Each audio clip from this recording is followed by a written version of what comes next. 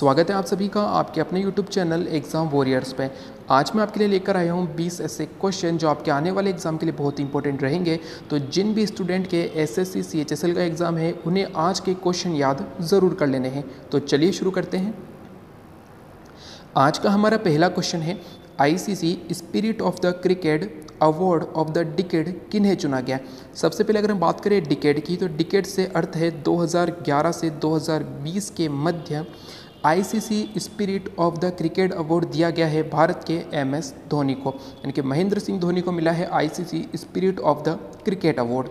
इसके अलावा आईसीसी ने ही sir Garfield Sobers award for IC male cricket ये दिया है विराट कोहली को। आपको ये दोनों ही याद रखने हैं। ICC spirit of the cricket award M S Dhoni को मिला है। Sir Garfield Sobers award Virat Kohli को मिला है। इसके बाद अगर हम बात करें तो प्रधानमंत्री नरेंद्र मोदी के द्वारा आयुष्मान भारत प्रधानमंत्री आरोग्य योजना, जिसका नाम है सेहत, ये कहाँ शुरू की गई है? तो आपको याद रखना है, जम्मू कश्मीर में प्रधानमंत्री नरेंद्र मोदी जी ने आयुष्मान भारत प्रधानमंत्री आरोग्य योजना सेहत की शुरुआत की है। अब इससे जुड़ा आपको एक और क्वेश्चन याद रखना है। ये क्वेश्चन एग्ज़ाम में ज़रूर पूछे जाते हैं। आपको एक नाम दे दिया जाता है, जैसे कि यहाँ पर दे दिया जाएगा सेहत, और आपसे पूछा जाएगा इसमें एच से क्या मीनिंग है? यानी कि एच का क्या मीनिंग है? तो आपको यहाँ पर इसका फुल फॉर्म भी याद रखनी है, जो इस प्रकार है social endeavour for health and telemedicine ये इसकी फुल फॉर्म है और आपको याद रखनी है। चलते हैं अगले क्वेश्चन पर। आज का हमारा अगला क्वेश्चन है डॉक्टर हर्षवर्धन ने निमोनिया से लड़ने के लिए एक वैक्सीन लॉन्च की है। उसका नाम क्या है? तो आपको याद रखना कि भारत के पूर्व चिकित्सा मंत्री रहे हैं डॉक्टर हर्षवर्धन। और वर्तमान में भारत के नए चिकित्सा मंत्री कौन बने हैं? तो आपको याद रखना मनसुख मांडविया भारत के नए चिकित्सा मंत्री बने हैं। तो जब डॉक्टर हर्षवर्धन भारत के चिकित्सा मंत्री थे, तब इनके द्वारा न्यूमोसिल नाम की एक वैक्सीन लॉन्च की गई थी, जो कि निमोनिया से लड़ने में काम आती है। तो आपको यहाँ पर ध्यान देना, ये क्वेश्चन एग्ज़ाम में पूछा जा सकता है कि डॉक्टर हर्षवर्धन ने किस वैक्सीन को लॉन्च किया था निमोनिया से लड़ने के लिए। तो इसका नाम है न्यूमोसिल। इंपॉर्टेंट है और आपको याद रखना है। इसके बाद सबसे इम्पोर्टेंट क्वेश्चन कि भारत को संयुक्त राष्ट्र परिषद की तीन प्रमुख समितियों की अध्यक्षता सौंपी गई है। अब आपको यहाँ पर इन तीनों समितियों के नाम याद रखने हैं, जो कि इस प्रकार है।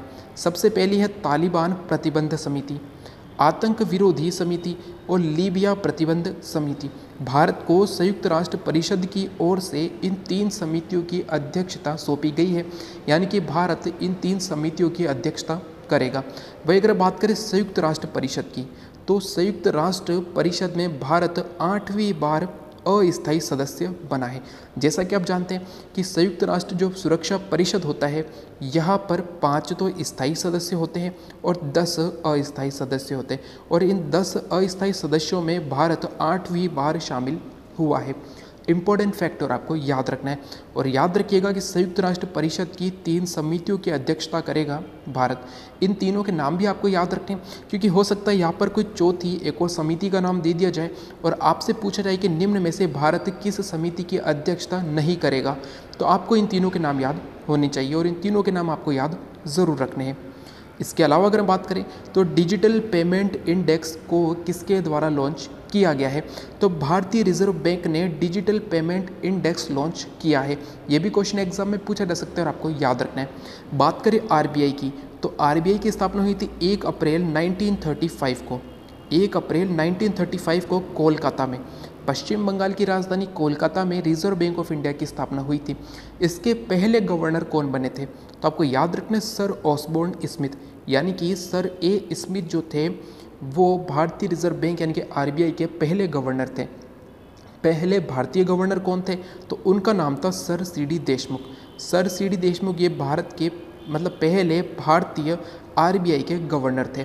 इम्पोर्टेंट और आपको याद रखना है, और वर्तमान में आरबीआई के 25वें गवर्नर है, जिनका नाम है शक्तिकांत दास। ये सभी इंपॉर्टेंट फैक्ट आपको याद रखने हैं। अगला है, प्रधानमंत्री ने गैस पाइपलाइन का उद्घाटन किया है। आपको याद रखना है कि केरल के कोच्चि से कर्नाटक के मंगलुरु के मध्य गैस पाइपलाइन का उद्घाटन किया है प्रधानमंत्री नरेंद्र मोदी जी ने।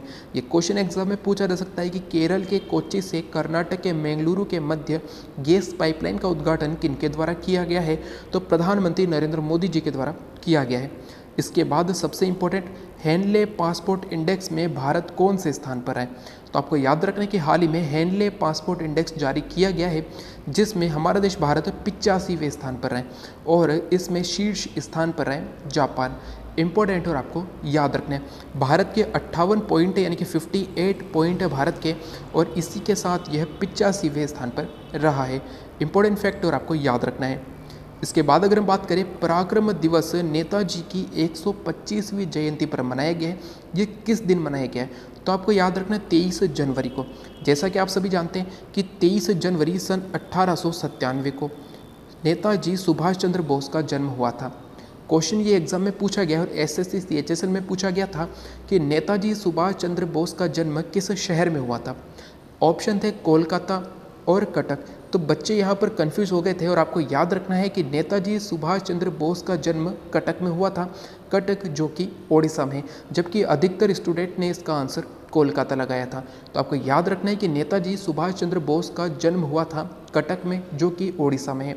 साथ ही आपको ध्यान रखने की जितने भी इम्पोर्टेंट व्यक्ति हुए हैं, उनका जन्म किस शहर में हुआ है, ये क्वेश्चन भी आपको ज़रूर याद करने हैं। तो पराक्रम दिवस 30 जनवरी को पहली बार मनाया गया है, क्योंकि नेताजी सुभाष चंद्र बोस की 125वीं जयंती मनाई गई है 23 जनवरी 2021 को, और इसी दिन को पराक्रम दिवस मनाया जाना शुरू किया गया है। इम्पोर्टेंट और आपको याद रखना है। अगला क्वेश्चन है, India innovation index 2.0 NITI Aayog ने जारी की है। सबसे पहले तो आपको याद रखना है कि इंडिया इनोवेशन इंडेक्स 2.0 किसने जारी की है?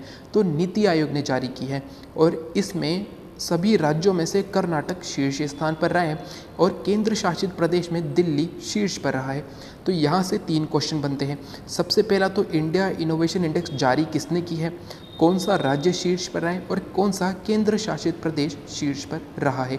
तो ये सभी इंपॉर्टेंट क्वेश्चन आपको याद रखने हैं। आज का हमारा अगला क्वेश्चन है सोमनाथ मंदिर के ट्रस्ट के अध्यक्ष कौन बने हैं? तो आपको याद रखना, प्रधानमंत्री नरेंद्र मोदी जी को सोमनाथ मंदिर ट्रस्ट का अध्यक्ष बनाया गया है।